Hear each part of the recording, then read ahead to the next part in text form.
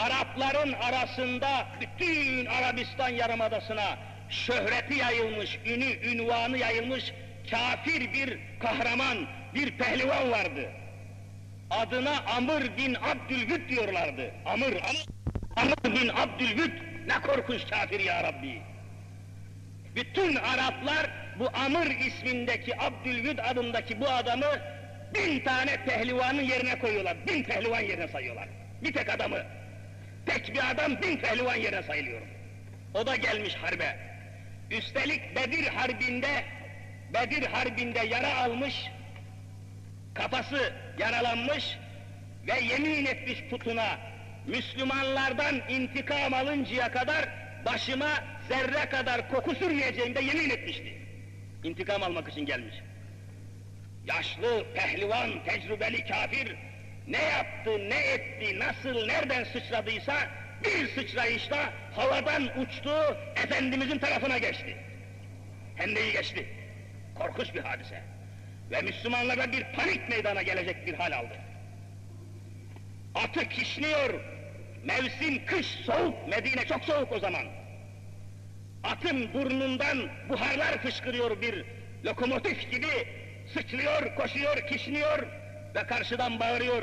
Ey Müslümanlar, içinizde birinci nara atışında bağırmasına kimse çıkamadı.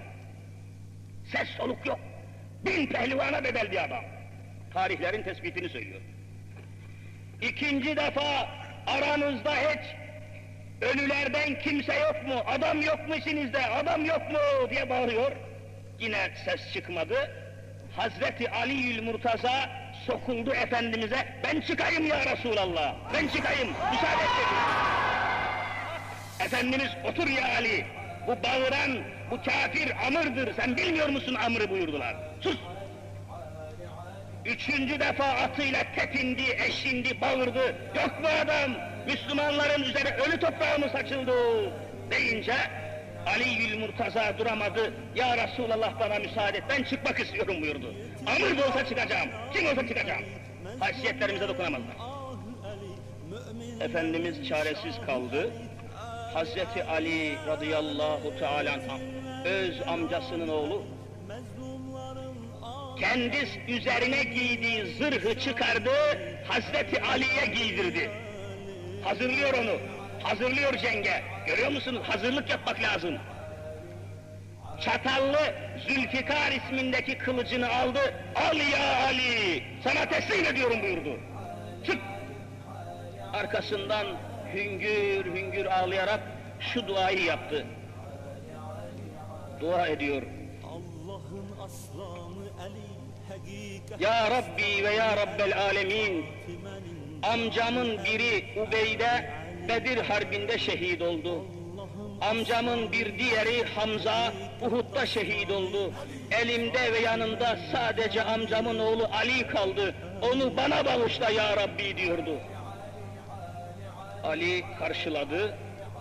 Amr bin Abdülvüd'ün karşısına çıktı. Dev gibi kafir. Ali genç toy delikanlı böyle. Küçücük görünüyor. Karşıdan bağırdı. Kim? Benim karşıma gelen kim? Kimsin? deyince Ebu Talib'in oğlu Ali'yim bir kükredi Hazreti Ali. Bir feryat etti. Ben seni tanımam dedi Amr. Ama baban Ebu Talib'i tanırım. İyi, mühim bir adamdı.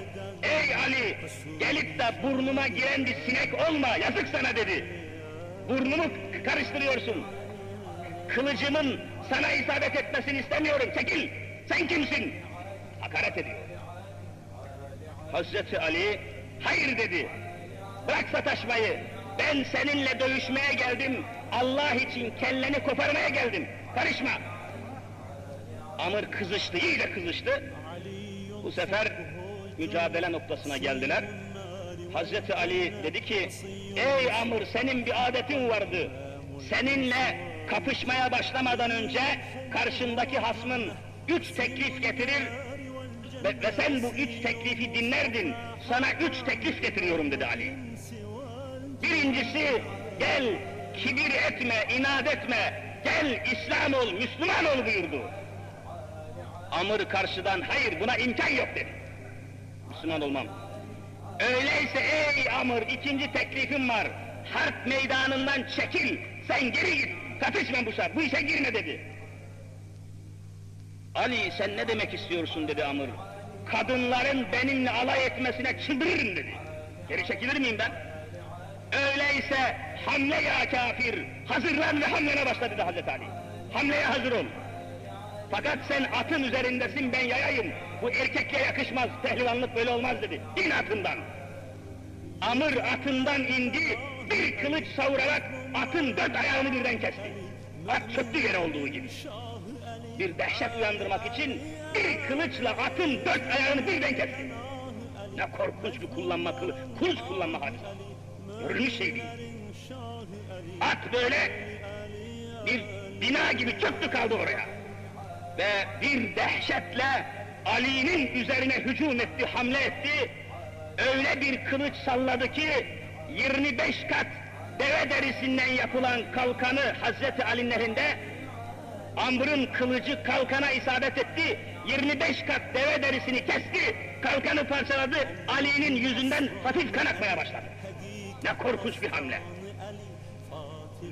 Fakat Ali hamleyi savmıştı. Sıra Hazreti Ali'ye gelmişti. Hamle ve hücum sırası Ali'nindi şimdi. Herkes gözleri fırlamış dışarıya sahneyi seyretmeye koyulmuştu. Belki arşın altında bu kadar korkunç bir kavga görülmemişti. Allah adınaydı, İslam adınaydı, Muhammed Mustafa namınaydı. Bu ne sahneydi? Arşın bütün melekleri seyrediyordu. Ferşin bütün hakikatleri seyrediyordu. Bütün melaike-i kiram, Ya Rabbi sahneyi seyretmek istiyoruz diye feryat ediyorlardı.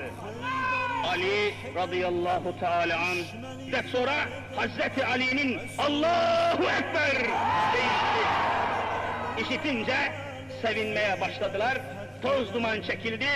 Amr'ın kellesi yerdeydi. Sanki dört devenin boğazlanması ve akan sel gibi kan akıyor. Ali tekbir getirerek Allah'a hamd ediyor.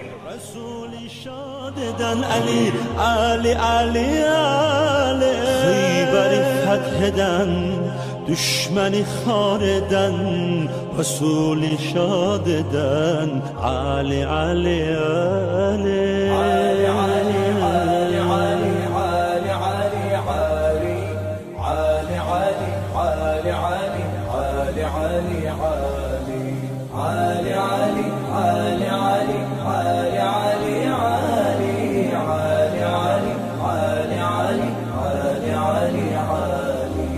علي حبه جنة قسيم النار والجنة وصي المصطفى حقا إمام الإنس والجنة علي حبه جنة قسيم النار والجنة وصي المصطفى حقا إمام الإنس والجنة علي علي علي علي